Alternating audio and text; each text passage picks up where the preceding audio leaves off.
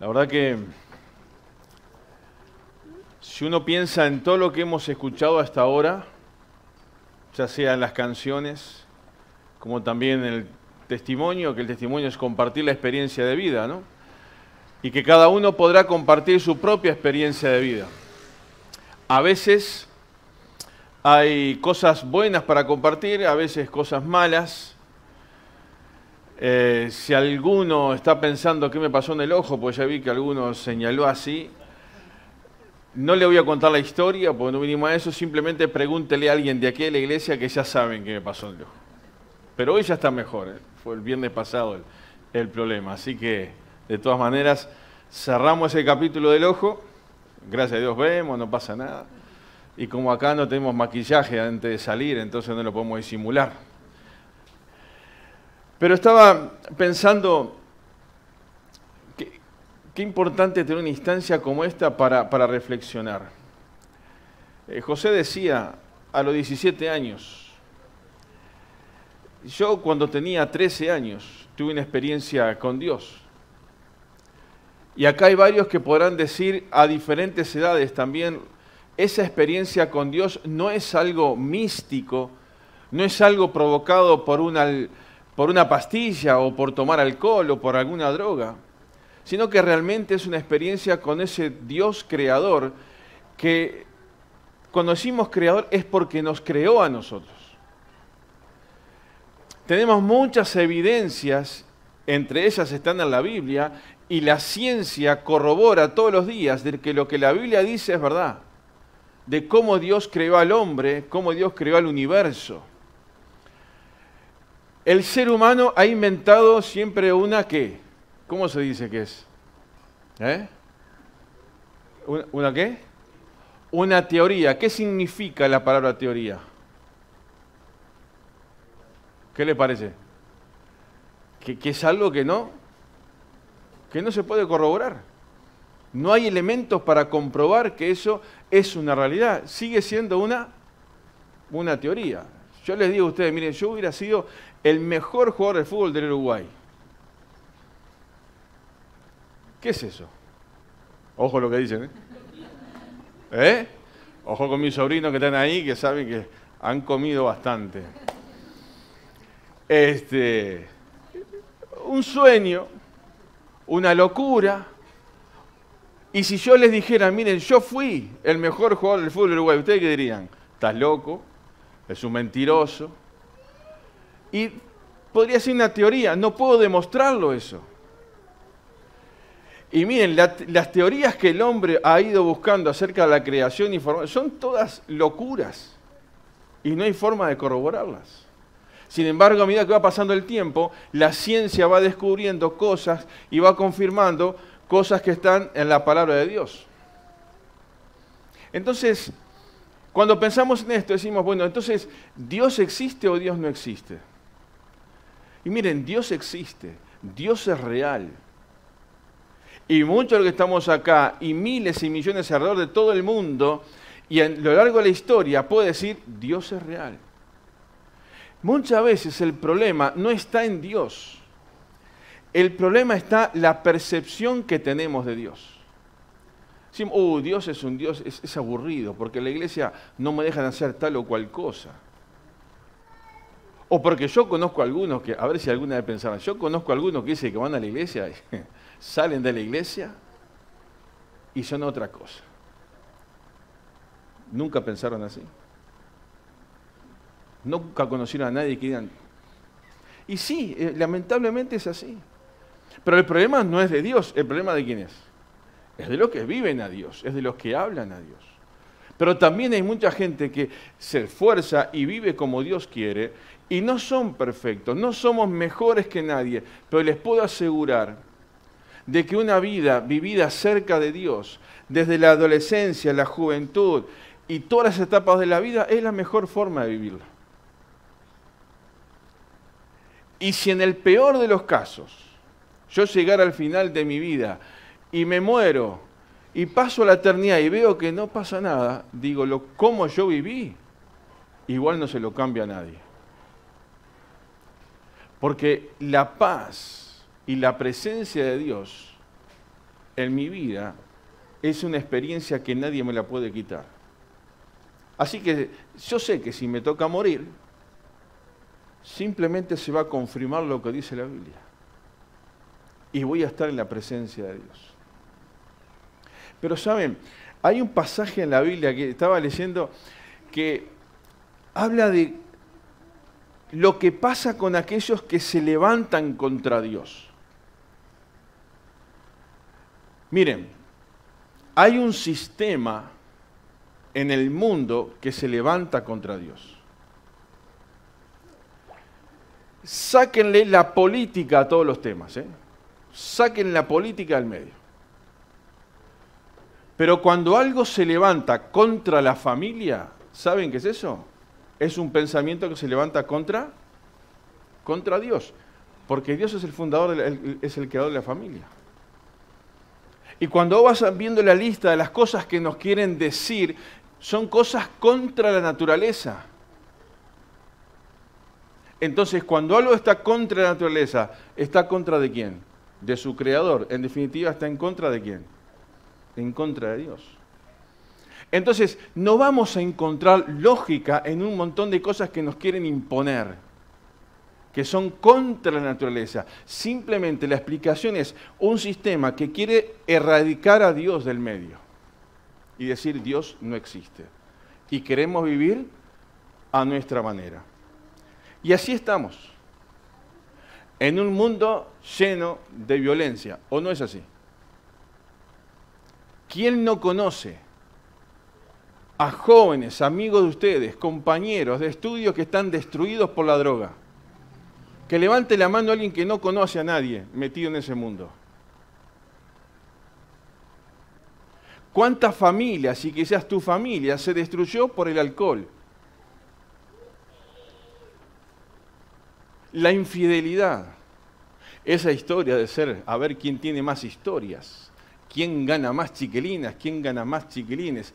Y bueno, voy a bajarla ahí. Lo del medio es antinatural, entonces, ¿contra quién? Es contra Dios. Y saben, yo les voy a mencionar el capítulo simplemente y voy a extraer de ahí una frase. Ustedes después si quieren lo pueden leer en su casa. Es Isaías capítulo 29.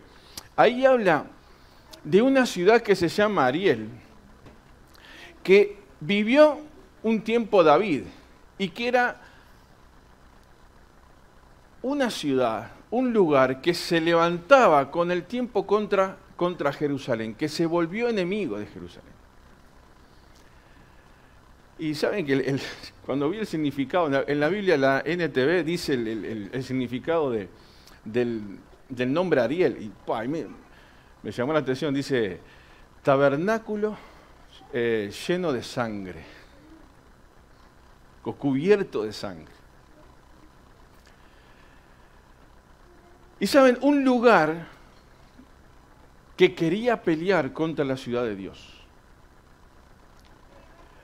Pero se creía que podía hacerlo pensaba que podía vencerlo. Pero ahí también dice en ese capítulo que los ejércitos de Dios venían, iban a rodear esa ciudad y los iba a entreverar y los iba a enloquecer, iban a darse cuenta de que como, como que querían pero no podían. Pero en sus sueños, esta gente, esta ciudad, tenía una sensación que yo me parece que esa sensación muchas veces nos pasa a hombres y mujeres comunes y corrientes.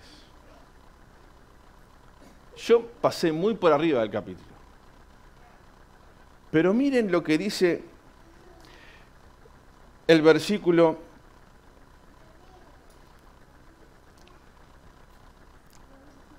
seis, siete y ocho voy a leer. Por Jehová de los ejércitos será visitada esa ciudad enemiga con truenos con terremotos y con gran ruido, y con torbellino y tempestad, y llama de fuego consumidor. Y será como sueño de visión nocturna. La multitud de todas las naciones pelean contra Ariel. Y todos los que pelean contra ella y su fortaleza y los ponen en aprieto. O sea, ya no tiene salida.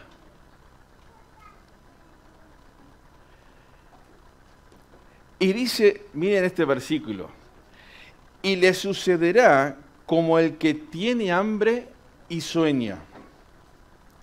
Y le parece que come, pero cuando se despierta su estómago está vacío. Y le parece que bebe, pero cuando se despierta se halla cansado y sediento. Así será la multitud de todas las naciones que pelearán contra el monte de Sión.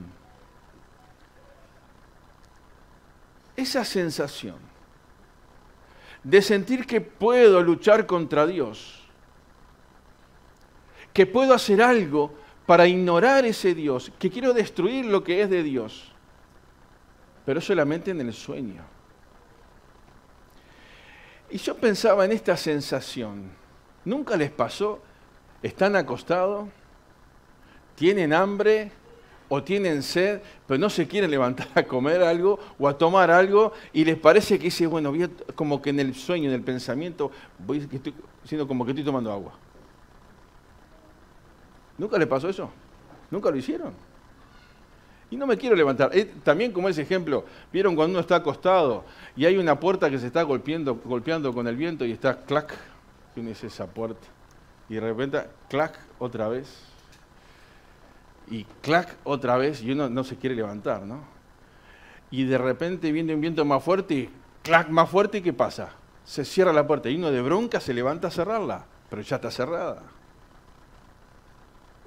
Son esas cosas que pasan en nuestro ser interiormente. Y esta sensación de decir, bueno, estoy luchando contra lo que Dios quiere.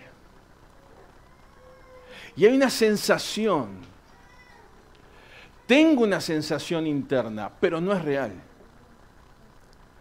Y saben, queridos, hoy hay mucha gente, muchos jóvenes y adolescentes que están peleando.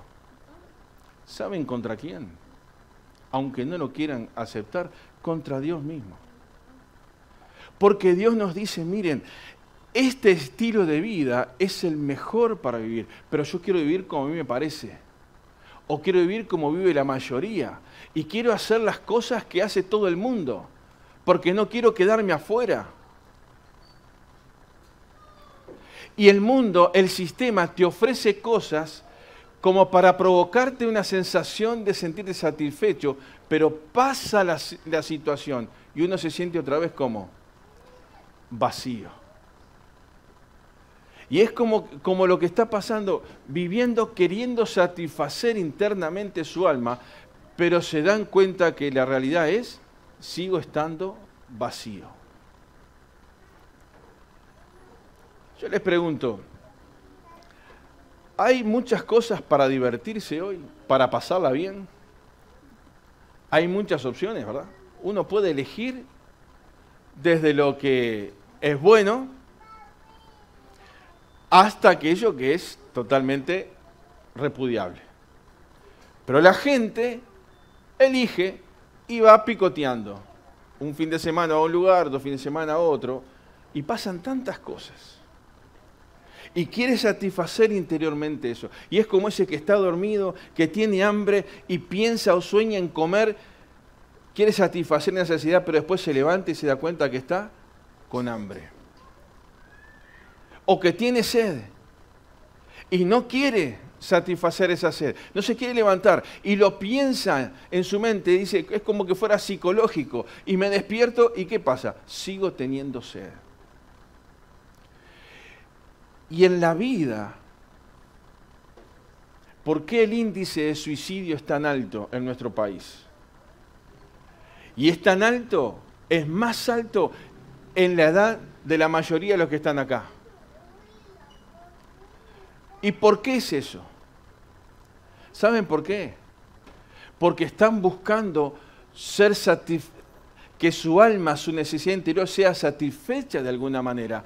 Entonces prueban quizás con una cosa, prueban con otra, prueban con la música, prueban, con los jueguitos electrónicos y prueban con esto y aquello y lo otro. Y le parece que eso va a satisfacer todo, pero llega un momento en que vos te sentís solo. Y llega un momento donde uno dice, ¿por qué tengo que vivir determinadas situaciones que yo no las elegí? Como nos contaba José. ¿Tus padres se separaron, dijiste, a los ocho meses? ¿Y José tenía derecho a conocer a su padre? ¿Qué les parece? Sí. Y lo mejor para José era conocer a su papá y a su mamá y que su mamá estuvieran juntos y que lo criara en un hogar donde puedan realmente el hijo tener los derechos y las responsabilidades y lo que él necesita para criarse en un ambiente natural como Dios manda. Gracias a Dios muchos tuvimos este privilegio, otros no. Pero saben, una frase que decía José, necesitaba un padre que me abrazara. Y esa es una demostración de un alma que está hambrienta, que está sedienta, que quiere, necesita satisfacer ese interior, pero las cosas que nos dan, que nos ofrece el sistema, no me satisface. ¿Y cuántas veces? ¿Cuántas veces quizás uno tiene que, le cuesta apagar la luz para dormir porque hay intranquilidad? ¿Cuántas veces hay tristeza en el alma, hay tristeza en el corazón?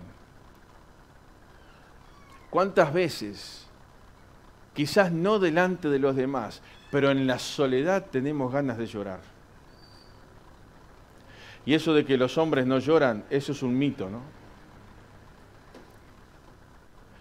¿Cuántas veces te has sentido con ese vacío interior y decís, ¿cómo puedo sentirme bien?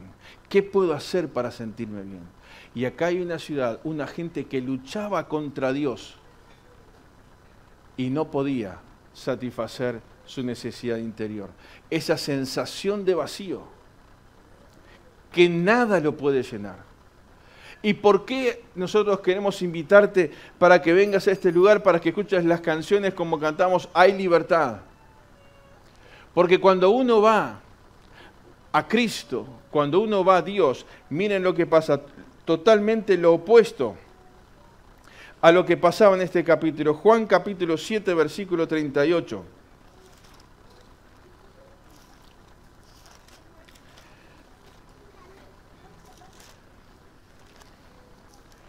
Juan capítulo 7, versículo 38.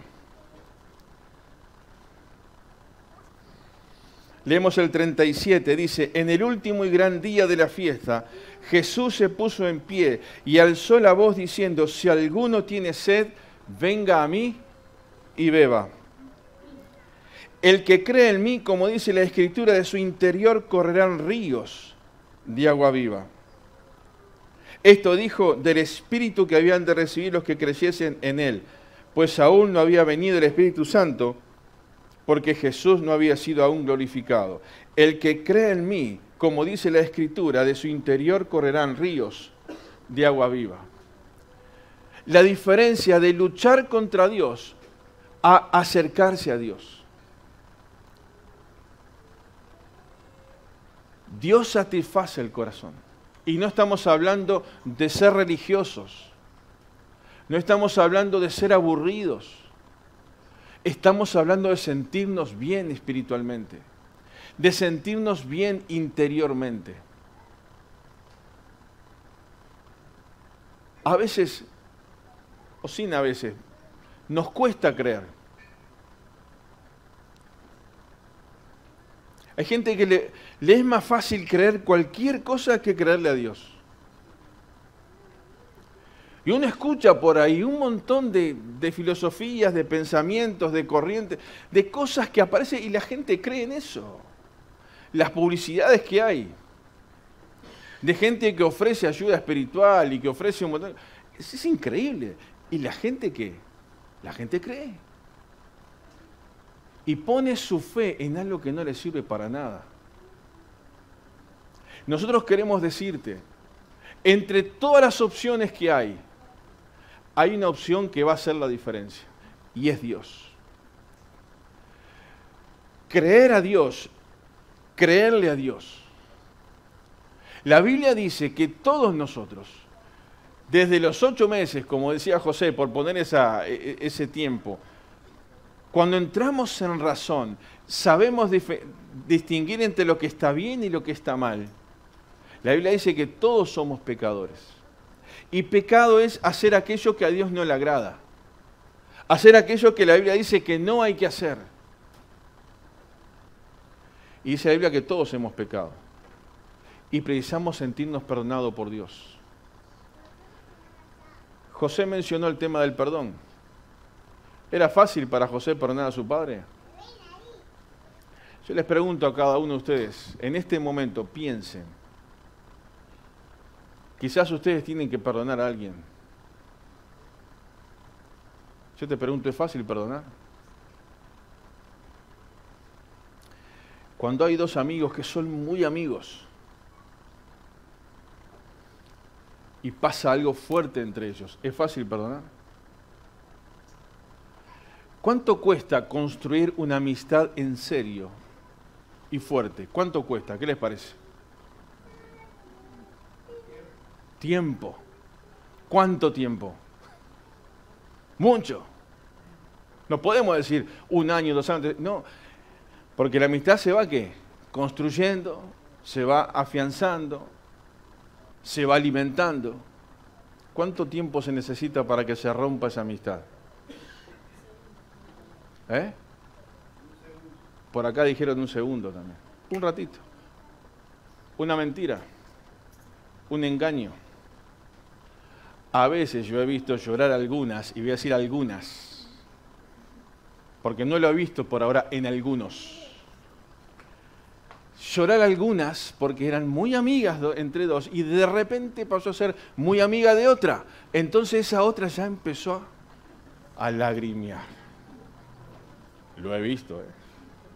Con mucho respeto le digo esto porque sé que las damas son más emocionales que nosotros. Los varones nos pegamos dos o tres piñas y nos arreglamos y no pasa nada. Y jugamos al fútbol y nos pegamos dos o tres patadas y la cosa queda en la cancha. Y eh, somos diferentes. Pero también los hombres sabemos romper una amistad. Ahora, eso cuesta. ¿Y cuesta volver a qué? A perdonar. Y capaz que a más de uno le pasó la experiencia de José con su padre o con su madre. Y hay que perdonar. Y dice la Biblia, el que cree en mí, significa que pedirle a Dios que, que me perdone. Y cuando yo siento el perdón de Dios, me siento perdonado y siento la presencia de Dios en mi vida. Y como dice acá, el Espíritu Santo está en mi vida. Y siento que Dios es real. Entonces voy a poder qué? Perdonar a otros. Por eso les digo, miren, es incalculable la diferencia del privilegio que tenemos de decir, vivo cerca de Dios de correr y vivir nuestra juventud, nuestra adolescencia y nuestra adultez y aún nuestra vejez tomado de la mano de Dios. Yo acepté a Cristo en mi corazón cuando tenía 13 años. Hoy tengo 56. Pasaron algunos, ¿eh? Pero saben, viví mi adolescencia, mi juventud, en los caminos de Dios. Por ahí mis padres no me permitieron hacer muchas cosas, las cuales hoy se las agradezco. En aquel momento no se le agradecía mucho, pero hoy se las agradezco. Y si sos hijo de cristiano y tienes el privilegio de nacer en una familia cristiana y cuando un padre te dice, mira, no vayas a tal lugar, da gracias a Dios que alguien te dice que no vayas. Porque quizás hay un montón de jóvenes y adolescentes que nadie les dice no vaya a tal lugar porque está mal, ¿verdad? Voy a donde quiero. ¿Cuántas madres le dicen a sus hijas, mira, anda lo que quiera, haz lo que quiera, pero llévate preservativo? Haz lo que quiera, pero no me traiga un problema a casa. Es así. Pero el problema es que en algún momento llega.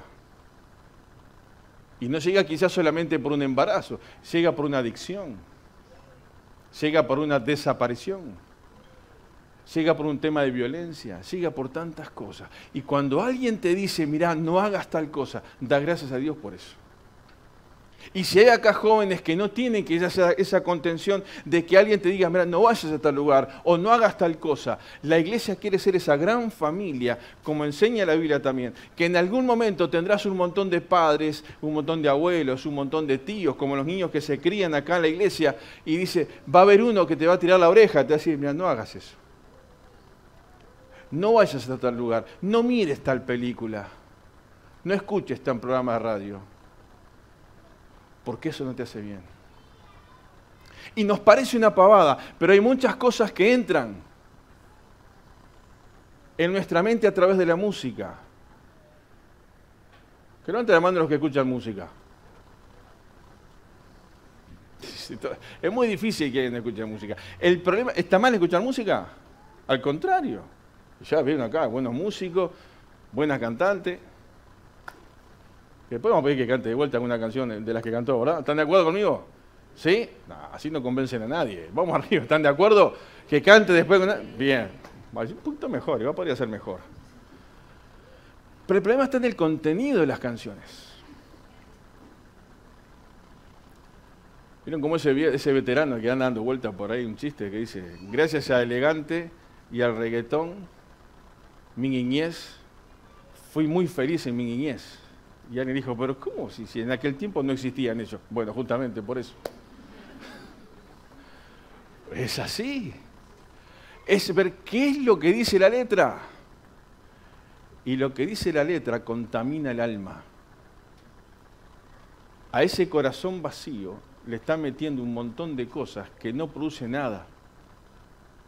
Y vos que estás luchando contra Dios y parece que esas cosas te satisfacen, pero en definitiva te están dejando con sed, con hambre y cansado de la vida.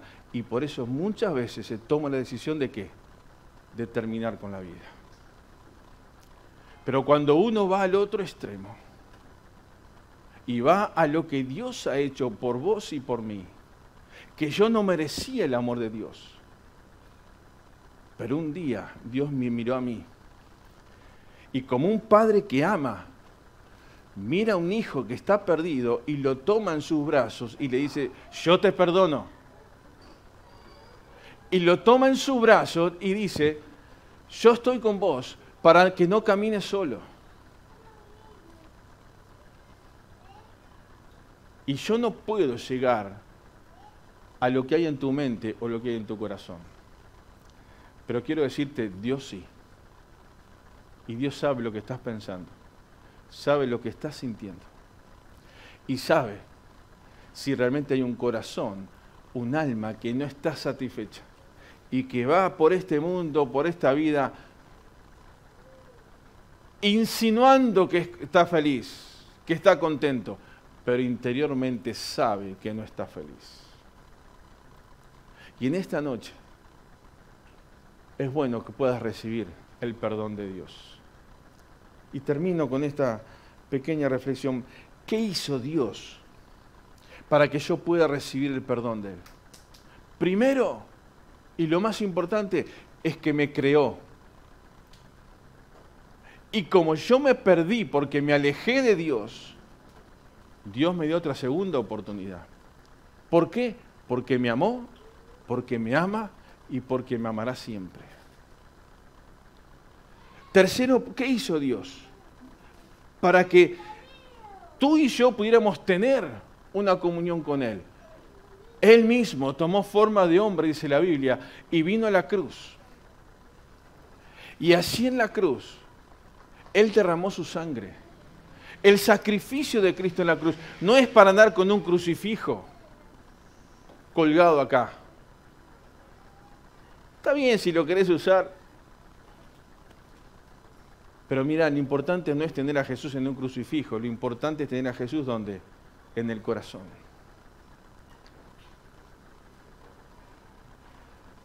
Y a veces nos parece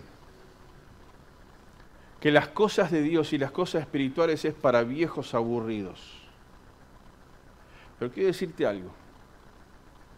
Cuando uno va a un cementerio y ve el dolor ahí el dolor atraviesa a todas las edades. y ves llorar gente frente a un alguien que falleció, que quizás no se hablaban nunca, pero ahora lloran juntos. Significa que el dolor atraviesa todas las situaciones y a todas las edades. Y quiero decirte esto, el Evangelio es igual, atraviesa a todas las personas, a todas las edades. Y sería bueno que puedas llorar, pero delante de Dios que te puede perdonar. Qué impotencia siente uno cuando llora delante, delante de alguien que falleció y que no puede hacer nada. Si nunca te pasó eso, algún día te va a pasar. Quizás frente al cajón de tu madre, de tu padre, de tu esposa, de tu primo, de tu hermano. Y sienta esa impotencia, no puedo hacer nada. Y de esa misma sensación es cuando uno espiritualmente está muerto también delante de Dios y no vas a poder hacer nada si pasás a la eternidad sin haber aceptado a Cristo como tu Salvador personal. Te irás a un infierno, a un lugar de perdición eterno, que la Biblia habla de eso. Y eso es tan real como tan real es el cielo. ¿Vemos la muerte? La muerte no se ve, se experimenta. ¿Vemos la vida? La vida no se ve, se experimenta. Cuando no está la vida, se terminó. Pero Dios te ama. Y Dios sabe qué hay en tu corazón. Y en esta noche, solo queremos desafiarte con todo el amor del cielo a que puedas pensar, quizás por primera vez, de mirar al Cristo de la cruz, no como una cosa de religiosos, sino como ese Dios que quiere tener un trato especial contigo que te ama y que te trajo a este lugar y que nos trajo a este lugar, no de casualidad, sino para algo especial que puede marcar tu eternidad, como marcó la mía cuando yo tenía 13 años y la de José cuando tenía 17. Ahí podríamos seguir nombrando varios, pero hay varios que están acá que aún no tienen a Cristo. Y no sabemos cuándo vamos a enfrentarnos con la muerte. Nadie tiene ningún minuto comprado. Lo que sí sabemos es que ahora tenemos la oportunidad de hablar con Dios y creer que el sacrificio de Cristo en la cruz, esa sangre que Él derramó por mí, fue por amor. Y yo puedo en esta noche abrir mi corazón delante de Jesús y decirle, Señor, perdona mis pecados. Quizás no entiendo un montón de cosas, pero sí sé que soy un pecador. No entiendo muchas cosas, pero sí sé que hay un vacío en mi alma que no lo puedo explicar y que no sé con qué llenarlo y he probado muchas cosas. No entiendo muchas cosas, pero sí sé que tú me amas. Y que en esta noche cada uno puede tener una oración especial con el Señor. Y yo quiero invitarte a orar. Te tomes un tiempo. Gracias a Dios somos unos cuantos y quiera Dios que todos los viernes vamos a hacer esto y más. Pero saben, lo importante no es la cantidad. Lo importante es que ahora estás tú y Dios solos. Porque el corazón solamente lo puede ver Dios. Y lo que hay en tu corazón solamente lo puedes saber vos. Y yo quiero preguntarte en esta noche, si Cristo está en tu corazón, si eres un hijo de Dios, y si no estás seguro de eso, orá y pedirle a Jesús que entre en tu vida y vas a ver el cambio, vas a ver la sensación de paz, la tranquilidad, sentir, quizás no entiendo teológicamente muchas cosas, quizás tendré que estudiar mucho la Biblia y ver qué es lo que Dios dice, pero una cosa sí sé, que siento paz en mi corazón. Y que cuando llega la noche y apoye la cabeza en la almohada, voy a sentir que Dios pone su paz y estoy en sus manos. Estás tú y Dios. Nada más que eso. Nada más que eso.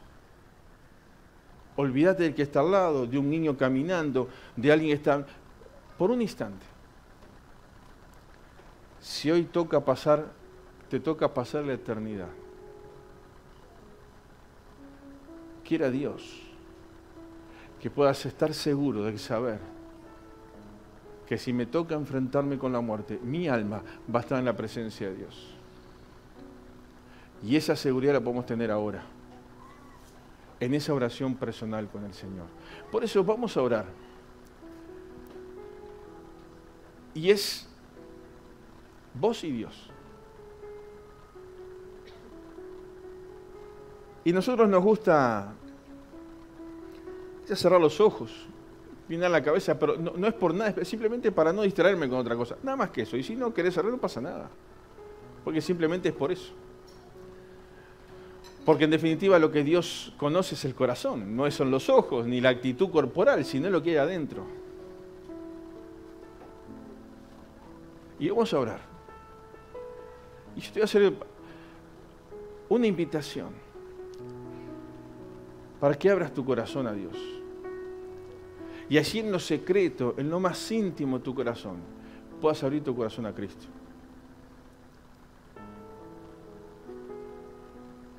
Y vas a ver lo que Dios va a hacer en tu vida. Señor, queremos en esta hora darte gracias porque tú estás aquí en medio nuestro. Padre, gracias porque tú nos amas. Padre, gracias por este ejemplo que leímos muy rápidamente de aquellos que quieren luchar contra ti, pero no podrán. Piensan que triunfan, pero el vacío y el hambre y la sed sigue estando ahí porque el fracaso está a las puertas.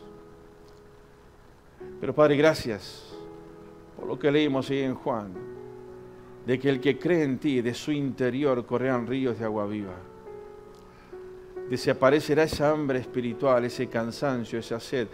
Tú puedes satisfacer todo, nuestro corazón y lo que necesitamos. Padre, gracias por amarnos. Yo quiero pedirte por cada uno de estos jóvenes y adolescentes que están acá en esta noche. Aquellos que están escuchando por el canal, que tú los bendigas también. Te agradecemos por ellos. Pero si hay alguien que aún no tiene a Cristo, y siente que Dios ha hablado a su corazón. Y quiere abrir su corazón a Cristo y elevar una oración al cielo. Yo quiero animarte ahí que en lo más íntimo de tu corazón tú puedas decir, Jesús, creo que moriste por mí en la cruz. Que derramaste tu sangre para limpiar mi corazón de todos mis pecados yo te pido perdón en esta noche. Te acepto como mi Señor y Salvador. Quiero que tu presencia llene mi vida. Quiero sentirme perdonado para poder perdonar a otros también. Gracias por amarme, aunque no lo merecía. Gracias por venir a buscarme. Padre, gracias. Porque tú quieres y amas a cada uno de estos jóvenes. Y tienes algo especial para ellos. Señor, bendecimos tu nombre en esta hora. Y que tu Espíritu Santo pueda estar obrando, fortaleciendo, animando, restaurando y que seas alguien que está lejos de ti en esta noche quiera volver a ti. Padre, que tú puedas también abrir tus brazos para recibirlo y puedas sentir el abrazo del cielo. Señor, bendecimos tu nombre. Gracias por este tiempo y oramos en el nombre de Cristo Jesús. Amén, Señor. Si alguien hizo esta oración, pidiéndole a Jesús que entre en su corazón. Yo quiero pedirte que hagas algo. Cuando termine, pueda cantar Leticia, vamos a saludar. Quizás puedas quedarte un ratito sentado ahí. O quizás hablar con el que te invitó, o conmigo, o con alguien. Si tienes alguna duda, si hiciste esta oración, o si querés conversar un poco más. Pero quiero decirte esto para terminar. lo más importante en tu vida es la decisión que tomes con respecto a Dios, porque eso repercute en la eternidad. Todas las demás decisiones repercuten acá, pero aceptar a, Cristo o rechazar a Cristo repercute en toda la eternidad. Que Dios te bendiga y gracias por su atención.